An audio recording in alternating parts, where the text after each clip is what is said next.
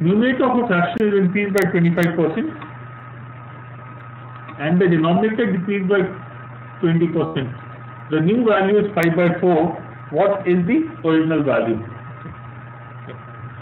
So, so the traditional way of doing this question is if the original fraction is x upon y, the new fraction would be uh, numerator increased by 25%, so it becomes 1.25x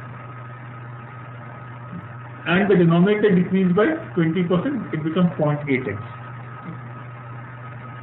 And we say this is equal to 5 by 4. This is a standard way of doing the question. Not a difficult process, I'm sorry, 0.8y. Not a difficult process, I'm sure everyone can do it very, very comfortably. But a slightly different way of looking at this question could be instead of writing it like this, I could have written as the new fraction, the numerator becomes 25% more, so it becomes 5 by 4 times of the original fraction. And the denominator becomes 20% less, so it should be 4 by 5 times. Or in other words, x should be a multiple of 4 and y should be a multiple of 5. Okay.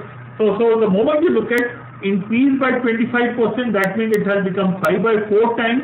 So the numerator must be a multiple of 4.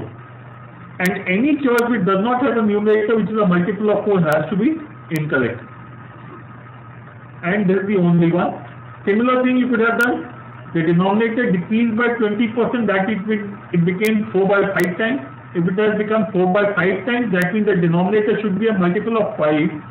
Again, would say, okay, there are two choices, but there is the only one which satisfies both sides.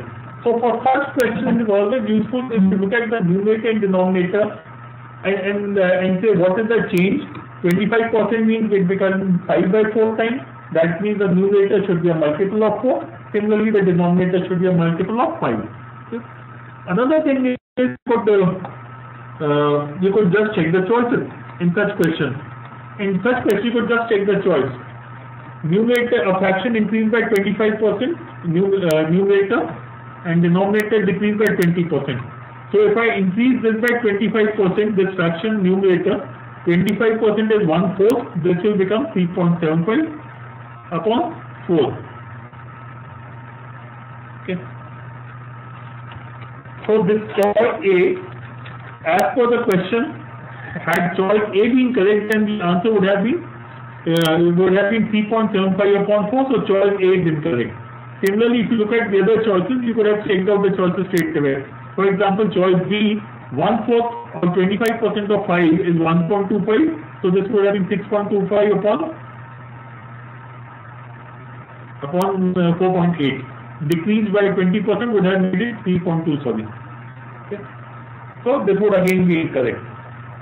This choice, numerator increased by 25% would become 4 plus 1, 5. Denominator decreased by 20% become 4.